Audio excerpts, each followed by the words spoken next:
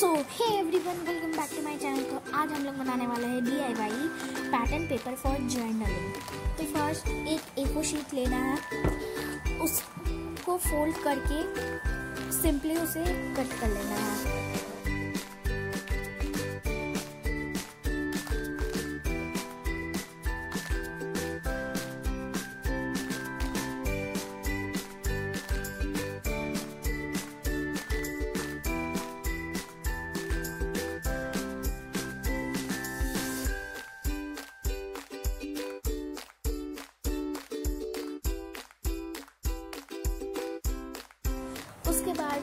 अब मैं यूज़ करने वाली हूँ डोम्स के एक्वा स्केच पेन्स आप पेंसिल कलर भी यूज़ कर सकते हो। देन सिंपली हमें लाइन खींचना है। खींचते जाना है, खींचते जाना है।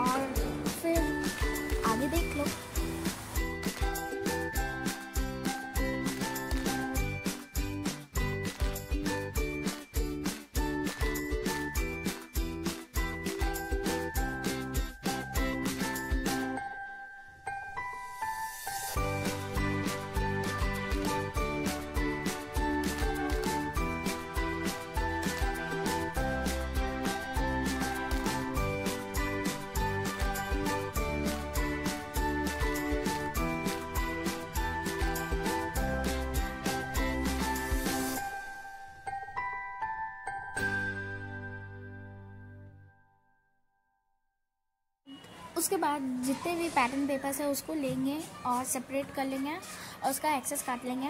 देन ऊपर साइड उसको ग्लू से स्टिक कर लेंगे। और इसको रखने के लिए कवर हम लोग बनाएँगे नोटबुक टाइप में।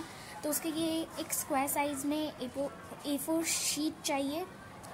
देन पैटर्न पेपर के साइज़ में उसको कट कर लेंगे और उसको आप डेकोरेट भी कर सकते हो। मैंने दो स्टिकर्स लगा दिए हैं स्माइलीज़ देन मैंने लिख दिया है journal stickers and pattern papers उसके बाद जो पैटर्न पेपर रहेगा, उसको ग्लू के मदद से हम लोग स्टिक कर लेंगे अपने कवर में.